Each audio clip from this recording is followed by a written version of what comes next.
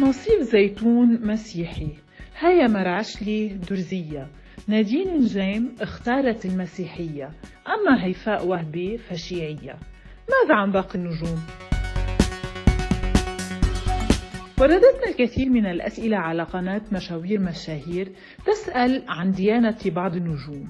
ونحن نجيب تبعا لأسئلتكم. مع اقتناعنا التام أن لا تفرق بين الأديان وأن الإنسان بأفعاله. قصي خولي. هو مسيحي. لي 40 سنة. مسيحي فأنا حكما بدي أحترم دين بدي أحترم دين الآخرين.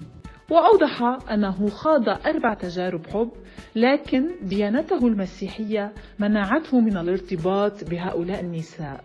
كونهن مسلمات. قائلا لو أردت الزواج من غير ديانتي لكنت تزوجت وأصبح عندي أبناء. لكنه عاد وتزوج من تونسية مسلمة اسمها مديحة الحمداني. أما الفنانة نادين جين فقد تحدثت عن ديانة والدتها وعن جنسيتها وكيف استطاعت أن تتعامل مع والدها رغم اختلاف الأديان بينهما. وقالت نادين خلال حوار تلفزيوني على قناة الجديد أن والدتها تونسية مسلمة وتزوجت من والدها رغم كونه مسيحيا وأنها تمتلك عقلا منفتحا ولولا ذلك لما استطاعت أن تتعايش مع والدها رغم اختلاف الأديان. نادين اختارت الديانة المسيحية بقرار منها وهي تملأ بيتها صور القديسين وأناجيل. من أول ما فتت على البيت أكثر من صليب الإنجيل. شفت شو حلوة صورة صورة يسوع مع الأطفال؟ هل... أما الفنانة التي ارتبط اسمها بنصيف زيتون هيا مرعشلي فهي درزية. ومن المعروف أن والد هيا الفنان طارق مرعشلي ينتمي لديانة درزية. كما أكدت عدة مصادر أن والدتها الراحلة رندا مرعشلي كانت تنتمي للديانة المسيحية إذ تمت الصلاة عليها من قبل راهبة مسيحية عند وفاتها.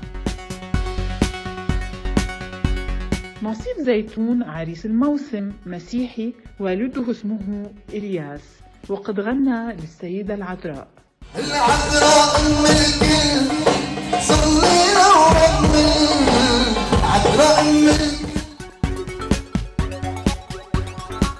رامي عياش درزي واسمه الحقيقي رامي أبو عياش. واختار زوجته درزية لأنه لا يقبل الزواج من غير دينه. وسأل الإعلامي نيشان عن مسألة الديانة ما إذا كانت أساسية في حياة رامي قبل زواجه من شابة من الطائفة الدرزية. فأجاب هذا الموضوع حساس. سأتحدث بصفتي الشخصية فبالنسبة لي أن العادات والتقاليد مقدسين وأحب الشخص الذي يعرف عاداتي. هالشي ساعدني أنه دليلة هالقد متقربة من الجبل ومن بيئته ومن عادات وتقاليد الجبل. عادات وتقاليد شوي مقدسين عندي. هذا الشيء بيساعدني أنه تكون دليدة هالقد متقربة من الجبل ومن بيئة الجبل. هيفاء وهبي مسلمة من الطائفة الشيعية؟ وربما هذا كان سبب طلاقها من أحمد أبو هشيمة.